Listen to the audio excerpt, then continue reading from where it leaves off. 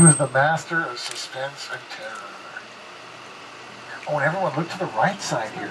Guys, here's our newest soundstage be- stage being built here. They're not quite ready yet, but I think they're on a pretty tight deadline, aren't they, Donna? Uh, Wednesday. Wednesday. Next Wednesday. Next Wednesday, they're going to be broadcasting live Hairspray, the musical, from that soundstage. They're also using the sets just up ahead here. It's going to be on NBC December 7th. Yeah, check it out, guys. So when you guys watch the show, just say, hey, we saw that set before they were filming here. But now, about those 3D glasses, guys. We're leaving the theme park now. We're taking to the ancient and mysterious Skull Island from Peter Jackson's King Kong. You sure you want to go in here? It looks pretty dark and scary. Well, I guess it's too late now. I think King Kong stepped on that tour back there. Magnum PI's Ferrari. Hey, look, there's Biff's convertible from the Back to the Future films. Here's some futuristic cars from Back to the Future Part 2. Anybody see Back to the Future Part 2? Yeah. Remember when Doc Brown took Marty to the future? Do you guys remember what year that was? 2015. 2015, right? It was last year. The future is now the past. It's kind of scary, isn't it? Speaking of the past, we got the Flintstones cars. Look at this. We got Fast and Furious cars coming out. And where are my Jurassic Park fans? Coming up, you're going to see a couple of vehicles from our latest film, Jurassic World, including the gyrosphere that's coming up. Now, it's minus the sphere. Folks, this is the way they used it for filming right here. There was never a sphere on it. That was in added in later using a computer. Can anybody tell me why you wouldn't want a sphere on there while you're filming? Glare. The glare and reflection. That's it. If they would have had a real sphere on there, you could have seen the camera and the crew in the reflection. So they added it in later using a computer. You guys, coming up on the right side, you'll see a boat. It was attacked by the Spinosaurus in Jurassic Park 3. Over here to the left, you'll see a Stegosaurus cage and some vehicles from the second film, The Lost World, Jurassic Park, including this RV. Watch your screens. Here's how it looks. Remember this scene? This RV was thrown over the cliff by two T-Rexes.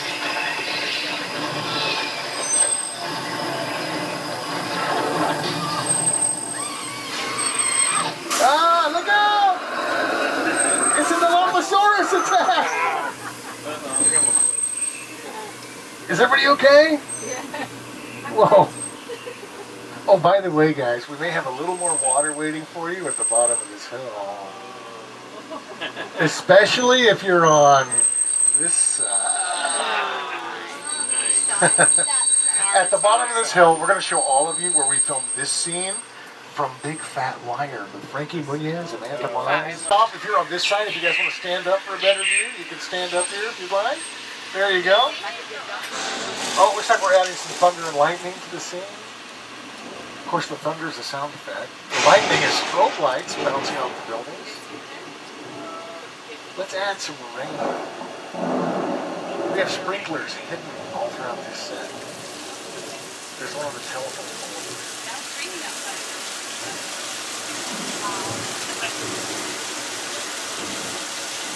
Now this may not look too much like a rainy day with the sun shining in, but actually this is about the right time of day they like to film rain scenes here. Either before the sun comes up in the morning or after the sun goes down at night. You have that right lighting you'd have on a cloudy day. But Donna, I think we're missing one effect here, aren't we? I can't, what is it? Rain, thunder, lightning, rain. No, we already said that. Ah! Look out!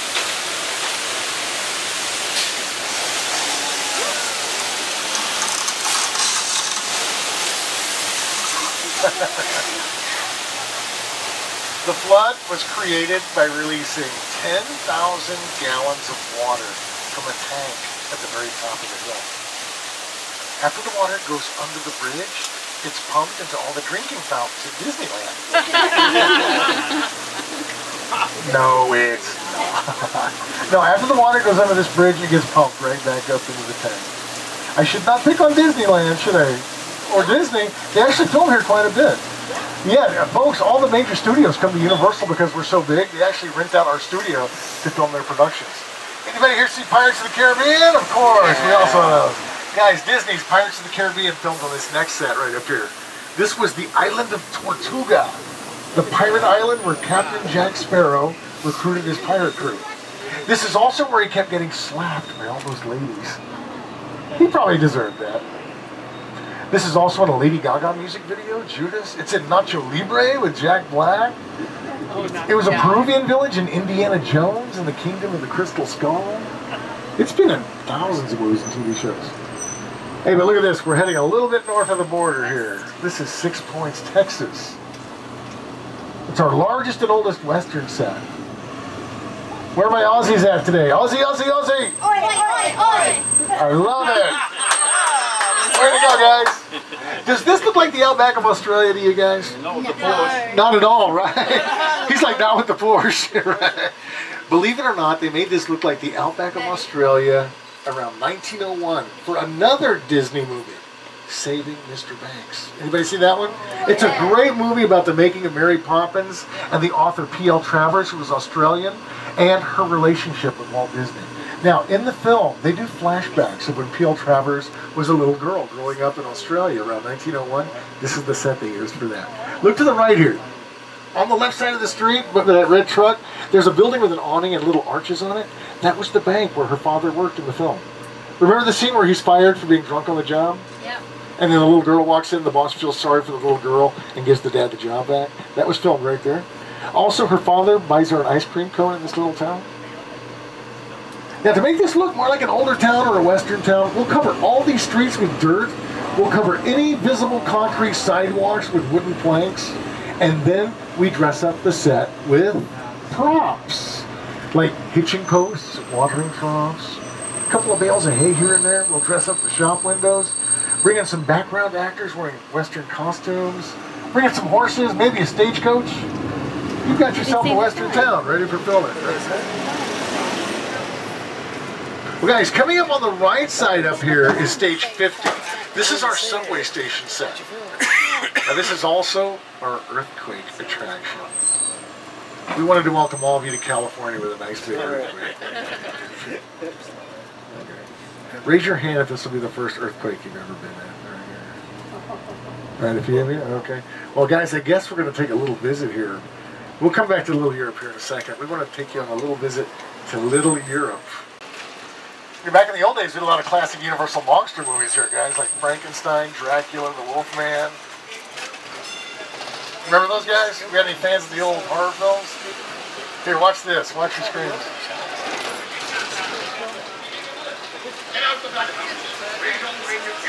It's changed a lot since then.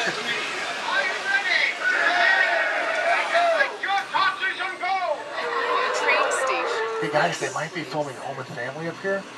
I'm gonna go off the microphone. I don't want to interrupt their production, but get your cameras ready. They're filming Home and Family. There's on the Hallmark Channel weekday mornings here. It's a really cool show. They have home improvement ideas, recipe ideas, decorating ideas, celebrity guests, meteorite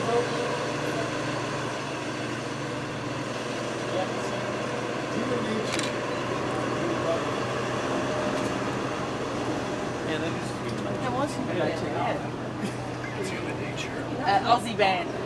Yeah, I was. There's five of them. Four.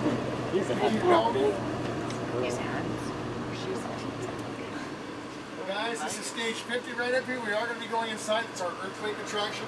Now, this attraction was built just for our studio, or for our studio tour. We wanted to demonstrate to our guests how we do disaster effects in Hollywood. They did such a good job on this. We use it in productions all the time now. Anybody here watch Bones? Oh, oh yes. Guys, watch this. Here's an episode of Bones that filmed inside stage 50. In this episode, there was an earthquake in Washington, D.C. It was called Bones. And What's going on? Let's get out of here! The water man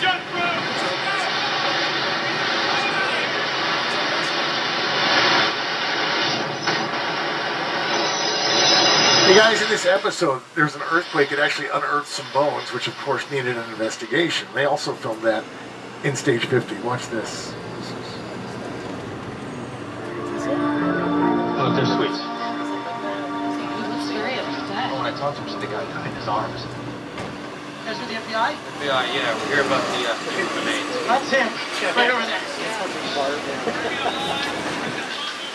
you right? Yeah. Okay, guys, it's our turn. Hey, my earthquake, the big one. Oh wait, you know what? That was probably just a tremor. Guys, here comes the big one. Hold on. Is that ceiling cracking over there? Ah, look out!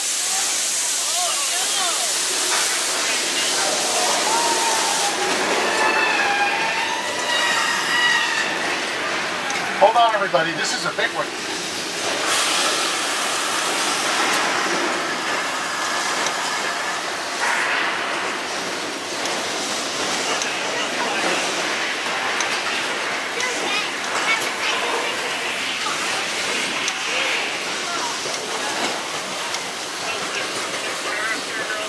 Just hold on, everybody. Oh no, I hear the subway train coming into the station up here. Guys, it's gonna crash into that ceiling. It's caved in.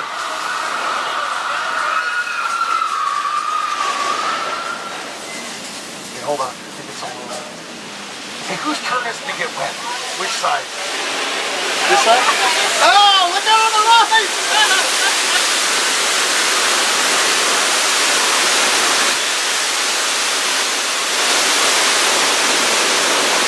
Hey, we earthquake, the big one. Good job, everybody. You know, if that would have been a real earthquake, it would have registered 8.3 on the Richter scale. That's a pretty big one.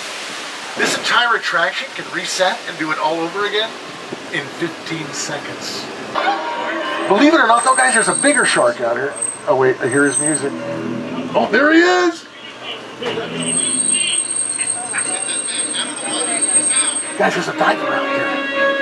The diver needs to get in that boat. I think it's too late.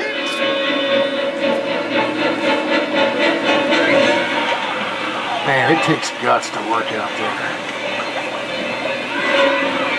Oh, there, they are. Ooh.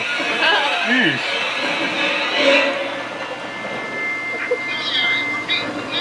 We're to take cover behind these flammable gasoline barrels. We should be safe here. I don't see the shark. Oh, he's under the pier, right over there, right over there.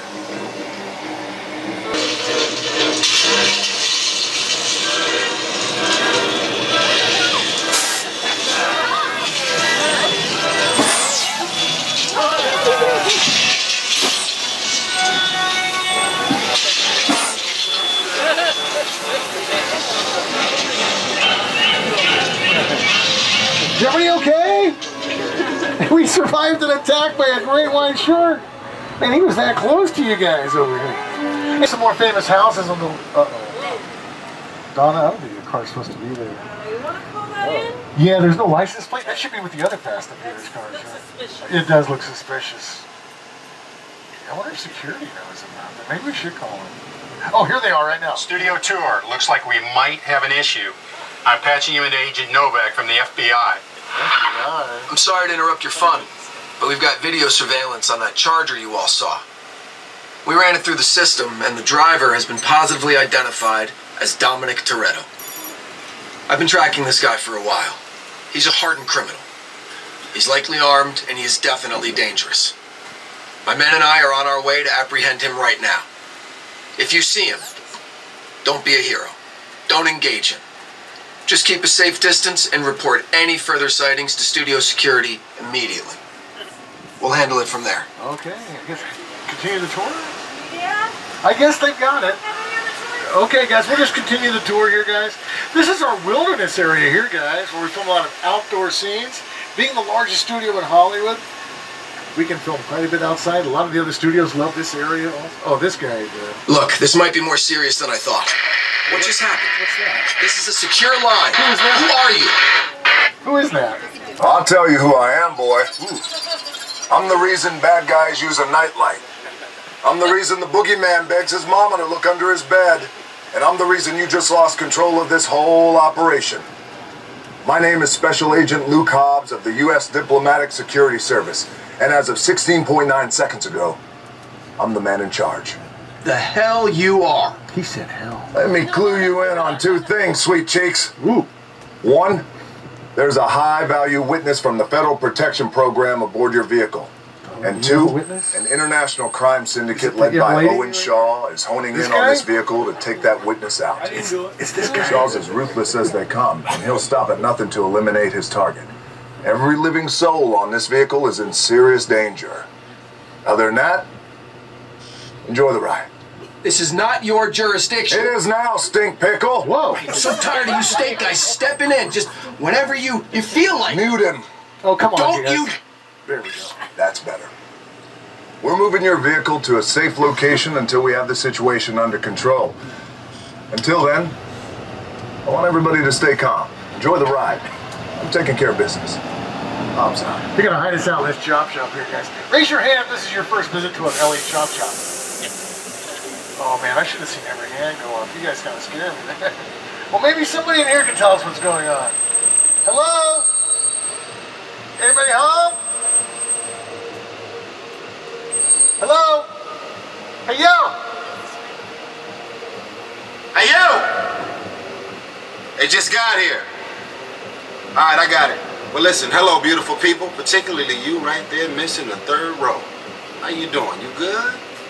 My name is Roman Pierce. Pleased to meet you. Those are guys. My buddy Hobbs asked us to stash you from Shaw for a while. So we brought you in our secret spot. We're having a few friends over. It's a little messy, but it's all good. The more the merrier.